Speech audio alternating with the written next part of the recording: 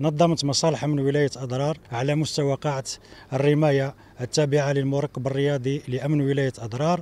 البطولة الجهوية للرماية بالمسدس الفردي ما بين مصالح الشرطة لناحية الجنوب الغربي. هذه البطولة شارك فيها آه، رياضيي ورياضيات خمس ولايات وهي تندوف أضرار بشار بني عباس وتيميمون حيث بلغ عدد المشاركين 68 رياضي ورياضية من بينهم ثمانية رياضية.